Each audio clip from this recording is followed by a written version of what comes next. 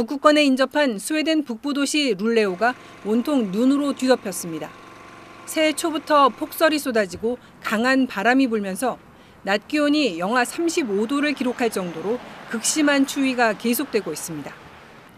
현지 시간 3일에는 영하 43.6도까지 떨어져 1월 기온으론 25년 만에 최저를 기록했습니다.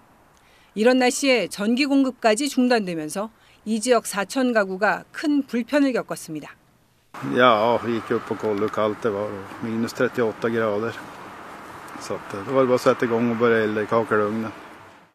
남부 지역에선 도로 결빙으로 차량들이 꼼짝할 수 없게 돼 운전자들은 인근 체육관에서 밤을 지새야 했습니다.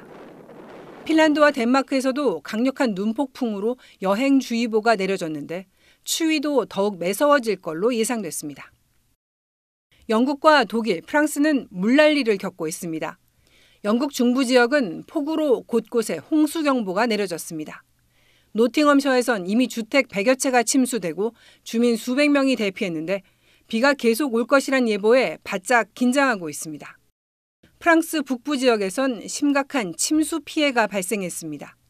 북부 도시 아르크에선 주택가 도로가 강으로 변하면서 1층 대부분이 물에 잠겼고 도심 시청 앞 광장도 완전히 사라졌습니다. 북부 파드칼레 지역은 지난해 11월과 12월에도 홍수를 겪었던 터라 주민들은 하늘을 원망하고 있습니다.